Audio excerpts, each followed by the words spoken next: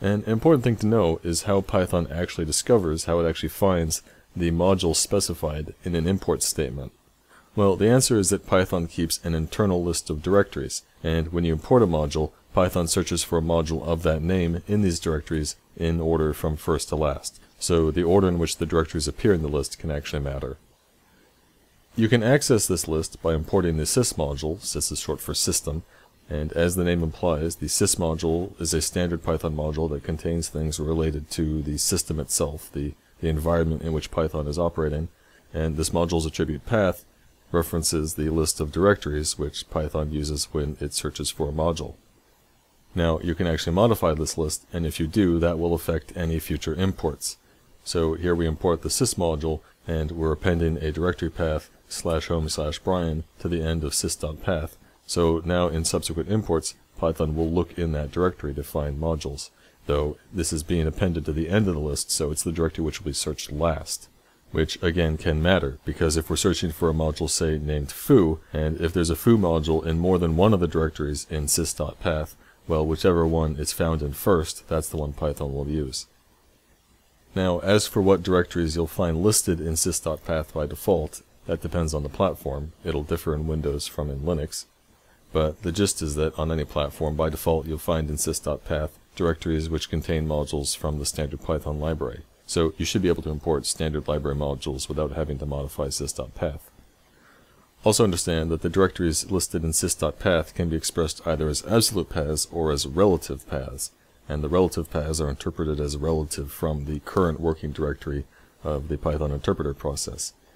And in fact, if you start up Python in interactive mode, if you start up the Python shell, you'll find that the first path listed is just an empty string, which is effectively a relative path to the current working directory itself.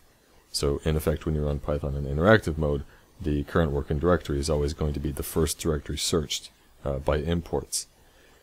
If, however, you run Python not in interactive mode, but by specifying the name of some Python module to run as your main module, then the directory of that module will be the first directory listed in sys.path. And that makes sense because normally the other modules of a program are placed in the same directory as the main module, or they're placed in subdirectories of that directory. Now, Python module files actually come in two forms. There's the .py files, which are source code files, the ones that you write, but when Python takes a source module, a .py file, it creates from that a compiled Python module called a .pyc file, or a pyc file. And the idea of these PYC files, these compiled Python modules, is that they're faster to load. That's the main purpose. The term compile here is a bit of a misnomer because it's not like these files contain native code, and they don't really contain something like Java bytecode either. Really what it is is simply just say when you execute a Python module, you know, the, the whole parsing of that source code and the creation of the functions representing the objects and the classes well, that business can all take up a surprising amount of time at program start, so PYC files are basically pre-parsed modules with serialized function and class objects, which can just be uh, read from the file into memory without having to actually produce those objects, and that can save quite a bit of time in processing on program startup. Now, you don't actually have to worry about creating these PYC files yourself, because the default behavior in Python is to just automatically create them for you. The way this works is that when Python searches for a module, there are basically three cases. There's the case where only foo.py exists, the regular source file. Then there's the case where Python only finds a file named foo.pyc and no corresponding foo.py file, and this situation might occur because someone could create a Python program and only distribute the pyc files rather than the source code. And then there's a third scenario where both files exist, where Python finds both foo.py and foo.pyc. Well, in the first case, when only foo.py exists, the source file exists, then Python will actually create the pyc file from foo.py, and then of course execute the module. In the second case, where only the compiled form is found, the pyc file is found, Python will simply of course just load the module from the pyc file. Uh, but then in the case where both files exist, then Python checks whether the py file is newer than the pyc file. That is, if the source is newer than the uh, existing compiled module. And if that's the case, well then uh, obviously what's happened is the programmer has updated their, their source code and of course they want to have the compiled file updated to match. So Python will recompile the module. It will update the PYC file before then actually loading it. So the way this generally works out is that if you have a Python program all in source form, and then you run the program, then that first time the program runs, Python will produce all the corresponding PYC files, such that any subsequent time you run the program, it'll be loaded directly from the PYC files instead of having to reparse all the source code and compile it again. The only exception being if you update, if you modify any of the source files, then Python will notice that whichever source code files you updated now have a newer date modified date than the PYC files. So it will then update those PYC files. Which is convenient, because effectively what this means is that when you're working on a Python program, you really don't have to worry about manually doing any of this compile business. It all just is handled for you, and if you modify the source code, you don't have to worry about it accidentally using uh, any the outdated compiled form. It'll just uh, recompile the code uh, as necessary. What Python calls a package is basically just a directory of module files, um, all of which presumably relate to each other somehow. It's just a mechanism of grouping your modules into logical groups. In an import statement, we refer to the modules of a package using the dot operator, uh, even though this really has not much at all to do with attribute lookup or anything like that. Uh, so here we have import foo.bar. This means to import the module bar found in the package foo. So Python will search sys.path for a subdirectory foo with a module bar in it. Now, the complication of packages is it's not just a directory containing the modules of that package, uh, it also contains another file uh, given the special name double underscore init double underscore dot py. And the special init module of the package is really just a module like any other. It just has a special name, and you can put actually any code you want in init.py, really just like any other module, um, though you could just leave them blank, as I usually do. But then the special thing about the init module is that when you import the modules of that package, they get assigned as attributes into this init module. So here, for example, when we import foo.bar, what actually happens in the local namespace where we're importing foo.bar is that the name foo is assigned and nothing else. And here after the import, the name foo refers to the module object representing the package itself, the init.py file in that directory. And because we've imported the module bar of that package, foo.bar will resolve to that module. However, bar itself is not found directly in the local namespace. Also, any other modules of the package foo won't yet be found in the module object representing foo until such time as those modules themselves are explicitly imported. In fact, it's quite possible to import just the package itself without importing any of the modules contained therein. So here we import just the package foo itself, and until we explicitly import the modules of the package itself, like foo.bar, uh, those modules won't be found uh, in the package object, which is really just a module object. It's a bit confusing because the objects which represent the packages are really just regular module objects, just like those representing normal modules. Now, of course, we can have directories within directories, so we can have packages within packages. So here, for example, import eagle.whale.tiger.frog. This imports a module frog from a package called tiger, from a, inside a package called whale, inside a package called eagle. Though actually, as we just saw, you can actually directly import packages themselves, so we can't say for certain, just looking at this line of code, that frog is actually a module and not a package.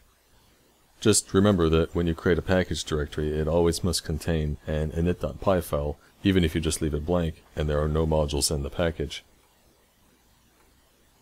Now, because some module and package names are obnoxiously long, it makes sense that after import you'd want to assign these modules to some more convenient name. Like here for example, if we import a module called supercalifragilisticexpialidocious, we can just assign it to an abbreviated name and use that instead to refer to the module. This is done commonly enough that Python has an optional clause uh, in an import statement called as. Here, if we import supercalifragilisticexpialidocious as sup, then it's importing the module called supercalifragilisticexpialidocious, but rather than assigning it in the local namespace uh, with that name, it's assigning the module object to just the variable sup. So if we try and use sup, then that resolves to the module object, but supercalifragilisticexpialidocious actually actually doesn't resolve to anything in the local namespace, so it would be an exception to try and use that name.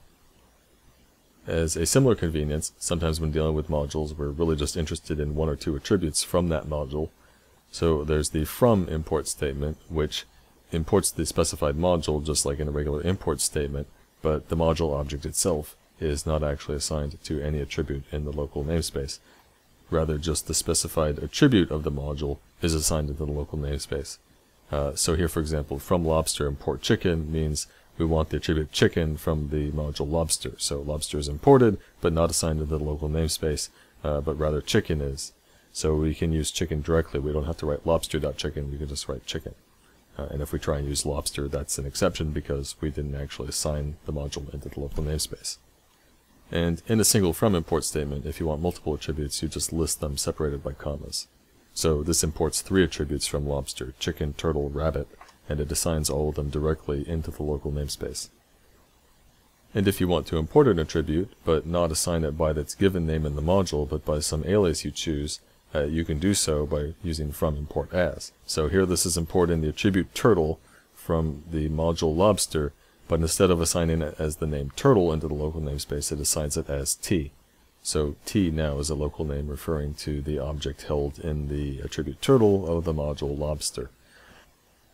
Now, a very important thing to keep in mind when using module attributes this way is that when you assign them directly into names of the local namespace, that name is really just an ordinary variable pointing to whatever object was in that attribute at the time of the import. If you then change the attribute of the module, this local reference to it is not automatically going to get updated. So if turtle, say, were some module attribute which you expect to change throughout the course of the program, you wouldn't want to use it via from import, you'd want to always access it as the attribute of the module. You'd want to import the module itself and then always write lobster.turtle to use that value, because that's the only way you get always the most up-to-date value of the module attribute. Finally, there's one more convenience with from import where maybe you just want to directly import all of the attributes of a module into the local namespace. This is convenient, but it does suffer from the problem I just described, where we're really just creating new local variables that might get out of date with the actual values of the module attribute. It's also generally considered bad practice to use this asterisk, uh, because it means that you're just dumping all the names of some module into your local namespace, and basically polluting your local namespace with a whole bunch of names, uh, many of them which you probably aren't going to use.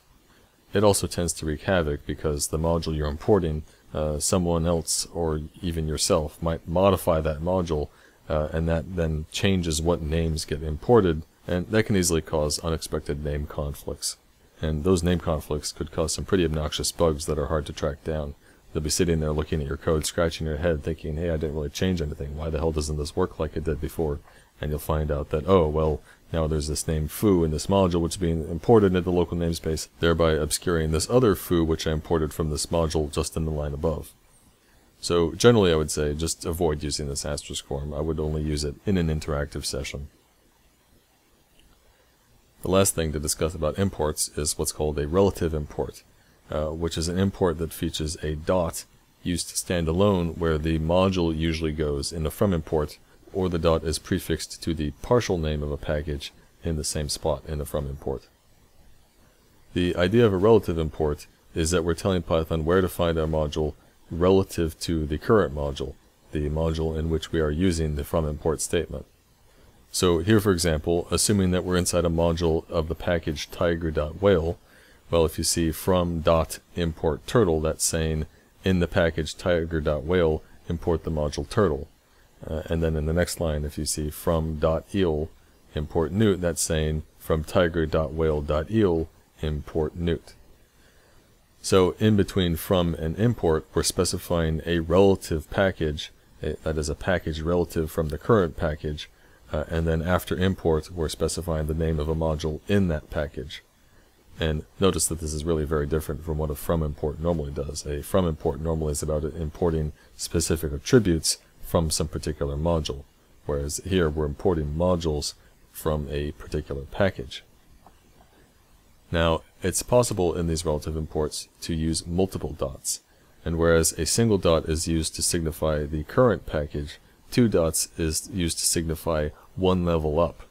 So in tiger.whale, two dots means uh, just the package tiger. So from dot dot import newt means from tiger import newt in, in the context of the package tiger.whale. Uh, and then from dot dot eel import newt means from tiger.eel import newt. So again, from tiger.whale we went up one level to tiger, and then we went down to eel inside tiger. So this multiple dots is imitating the, the syntax you see with file paths where uh, dot dot slash is used to go up one directory. Except here we're not using any slashes. So if you want to go up two levels rather than just one, you write three dots. If you want to go up three levels, you write four dots, and so forth. So the advantages of using relative imports are basically twofold. It, it makes it easier for you to rename your packages because when you rename a package directory, you don't have to then go into all the modules of that directory and change all the import statements where one module of the package is using another module of that same package.